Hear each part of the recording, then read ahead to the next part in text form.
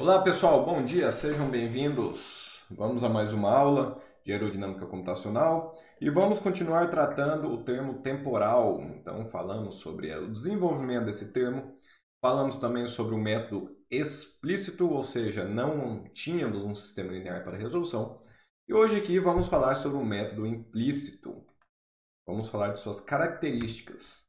Então, iniciando, uma abordagem implícita nos diz que o termo φ em n mais 1 no passo-tempo futuro, ele é igual o próprio termo φ no passo-tempo atual, em n, né, onde nós conhecemos esse valor, mas mais um coeficiente vezes uma função, e esta função depende de φ em n mais 1 e também de t em n mais 1. Ou seja, pessoal, esta função aqui, este termo, nós não conhecemos, porque não conhecemos o tempo, o, o valor de φ no futuro. Conhecemos apenas no momento presente, certo? Isso nos dá esta equação aqui, caso ela seja discretizada é, espacialmente, e já colocamos aqui em evidência. Então, temos aqui é, um coeficiente multiplicando o φp em n mais 1 mais outro coeficiente, um ΔT AW, multiplicando o φW em n mais 1, mais um ΔT AE, multiplicando o φE em n mais 1, e assim por diante. Ou seja, criamos novos coeficientes. Qual é o novo, qual é o novo coeficiente, professor? É o seguinte, então o AE ele vem da combinação do AE difusivo e o AE advectivo. A mesma coisa é para o AW, para o AP, para o AS, para o AN. Caso seja tridimensional, para o AB e para o AT, certo? E vamos multiplicar, multiplicá-lo por ΔT e criarmos um novo AE. Uma vez que é um, simplesmente um coeficiente, a gente pode mudá-lo né, de acordo com as circunstâncias. Então, continuando, esta é uma forma mais complexa de se avaliar φ n mais 1 porque temos vários FIIs aqui que dependem do passo-tempo futuro. E ele utiliza informações não conhecidas, certo? Não conhecemos, por exemplo, o FIES em N mais 1 para podermos calcular o FIP em N mais 1.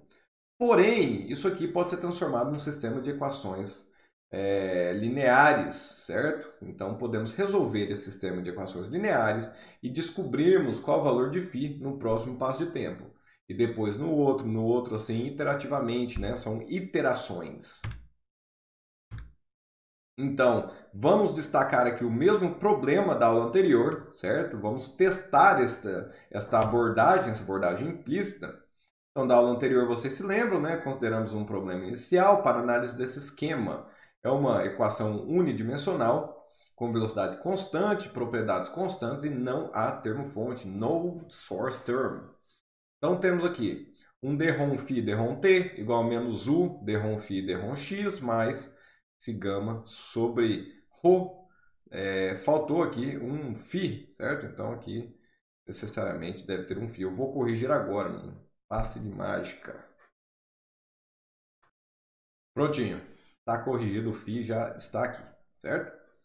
E as condições de contorno, φ0 é igual a 1, em x igual a 0 e φL igual a zero em x igual a L, certo? Esta é equação similar né, ao que já usamos aqui algumas vezes, então vocês já conhecem bem o seu comportamento. E as condições que vamos calcular são U igual a 2,5 metros por segundo, L igual a 1 metro, ρ 1 kg por metro cúbico e gama igual a 0,1 kg por metro por segundo. Então é uma condição aí que desafia a estabilidade dos métodos numéricos, certo? Então uma velocidade aqui considerada alta, né, 2,5, então pode gerar um número de Peclet alto.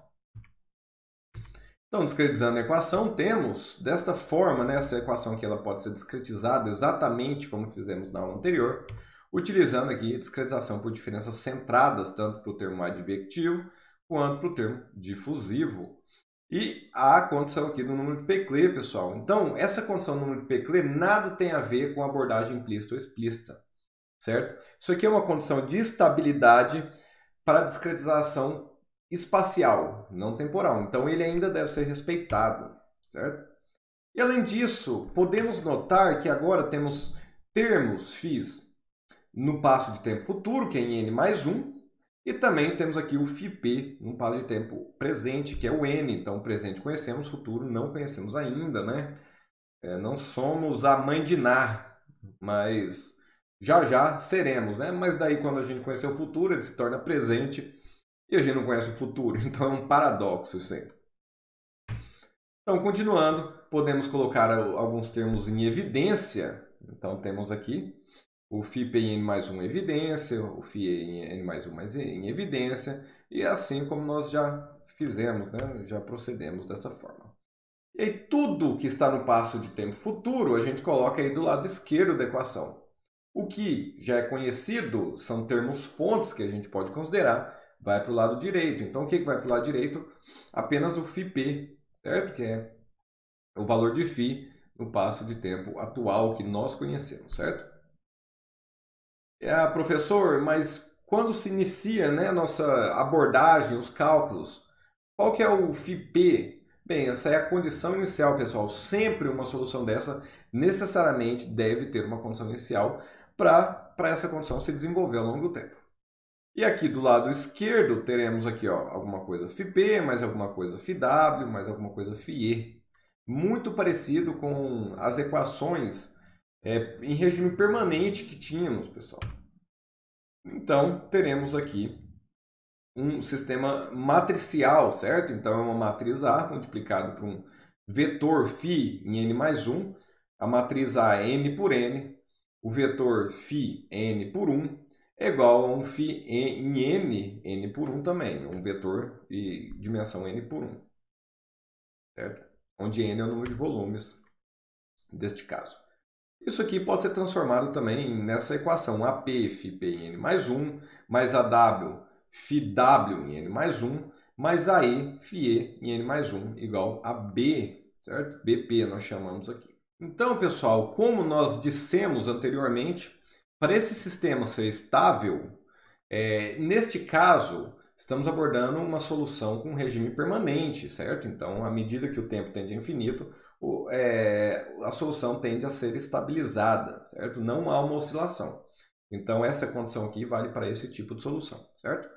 Temos aqui um resíduo temporal, chamamos a diferença entre as soluções entre dois passos de tempo. E a tendência para este caso é que esse resíduo ele diminua ao longo do tempo, certo? É, fisicamente isso acontece, numericamente isso deve acontecer pra, para que o regime seja é para não regime, mas é, a solução do sistema seja estável. Quando vimos sobre abordagem explícita, nós vimos algumas condições, algumas restrições para essa condição aqui de estabilidade ser atendido.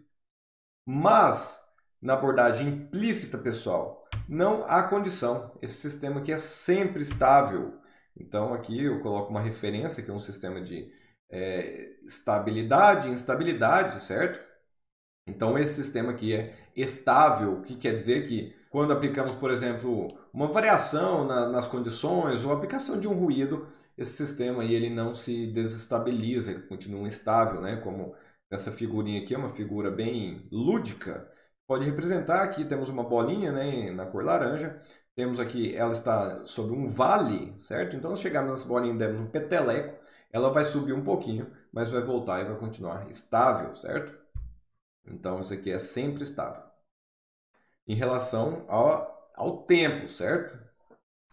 É, nada disso em relação a, ao método da é, aplicação né, da abordagem de diferenças centradas para o termo adjetivo. Aqui, isso é um problema espacial. O que estamos falando de é, estabilidade e instabilidade aqui é um problema temporal, certo, pessoal?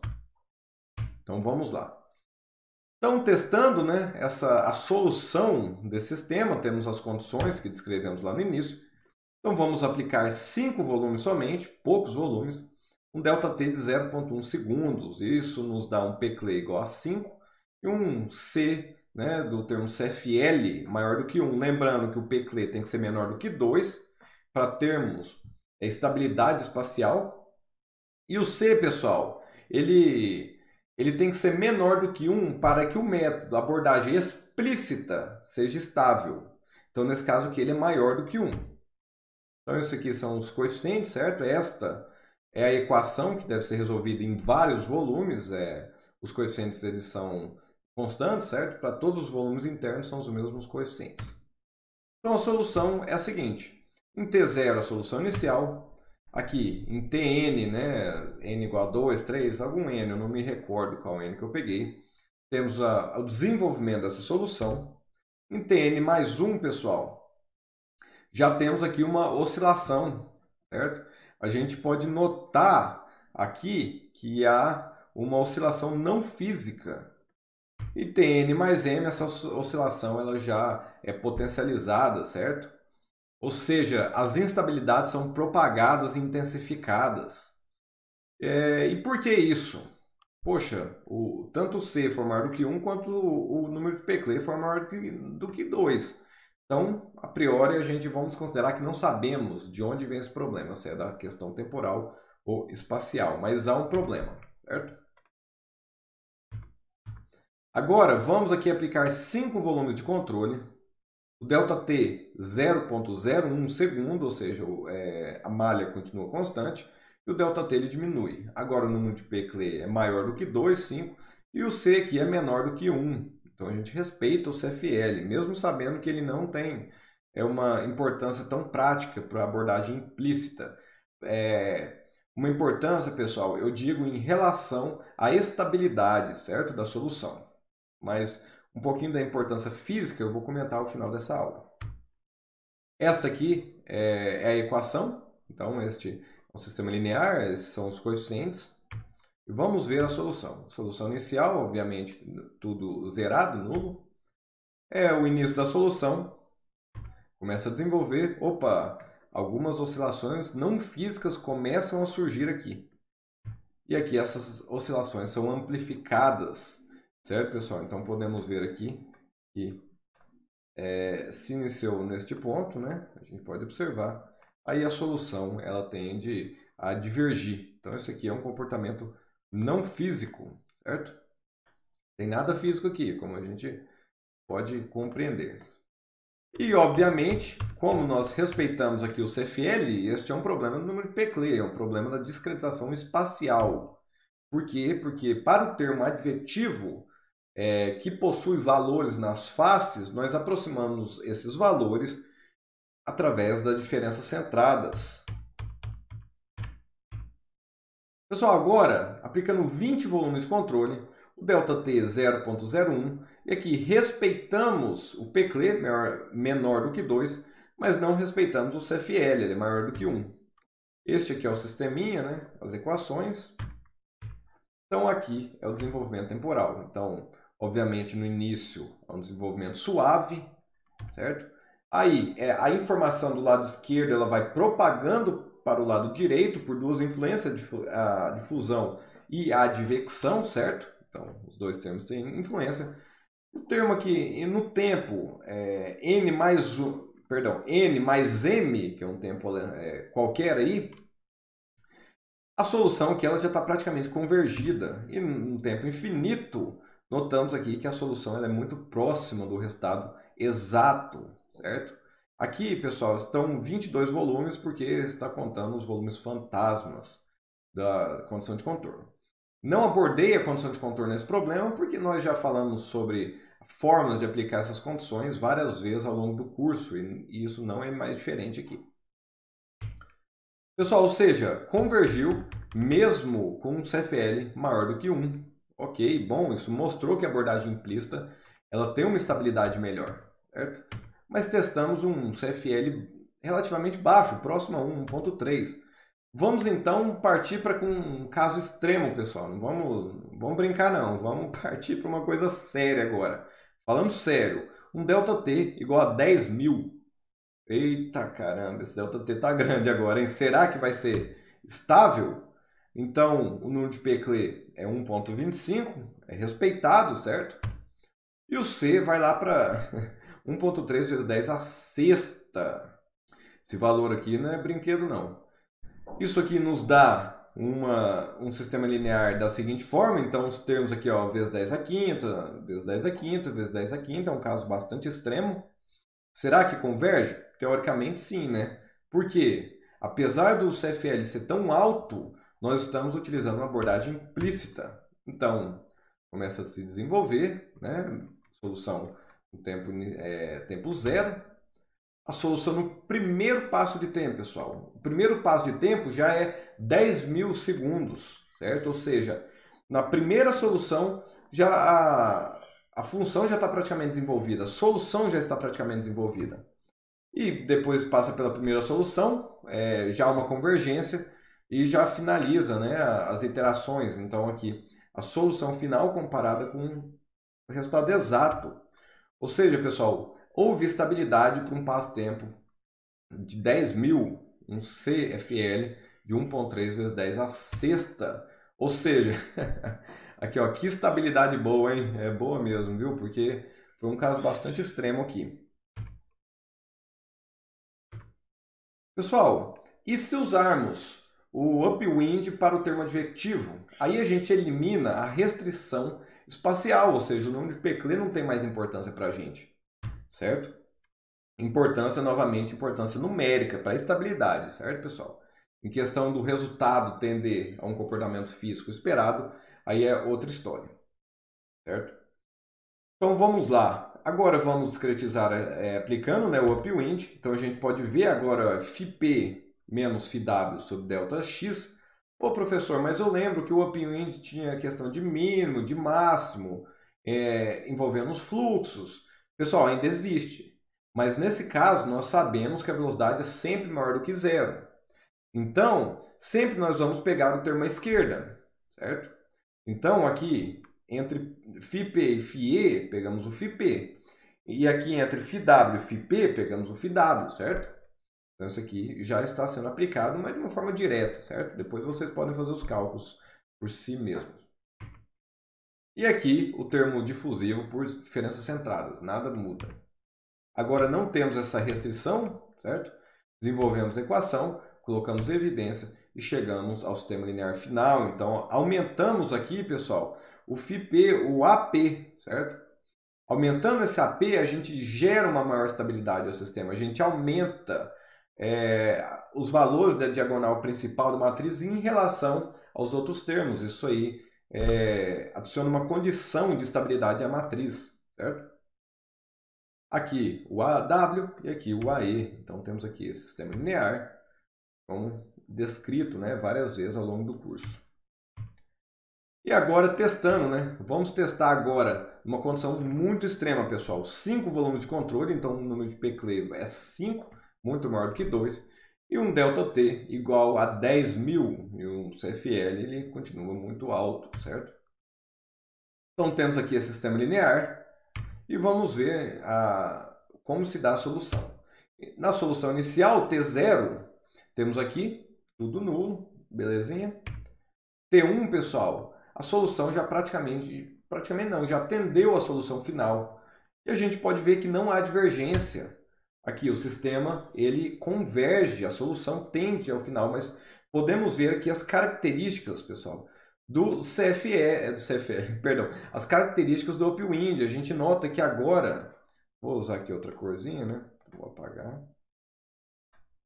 Vou usar a cor preta, né, para combinar aqui com a solução é, numérica. Então temos aqui a solução numérica e podemos notar que ela é menor do que a solução exata, porque esse método é mais é, artificialmente dissipativo, ou seja, ele dissipa um pouquinho a solução final é, de forma numérica, certo? Uma dissipação artificial, não física, mas gera estabilidade, como vimos nas aulas sobre o termo advectivo, certo? Ou seja, em nenhum caso tão extremo como esse, conseguimos estabilidade, então número de Peclet 5, CFL 1.3 vezes 10 a sexta, e é muita estabilidade, pessoal, é muita estabilidade, e por isso, abordagem implícita, e o termo upwind é tão utilizado, mesmo em simulações é, comerciais, utilizando códigos comerciais, certo? em aplicações industriais, como vocês podem ver aí na prática, certo?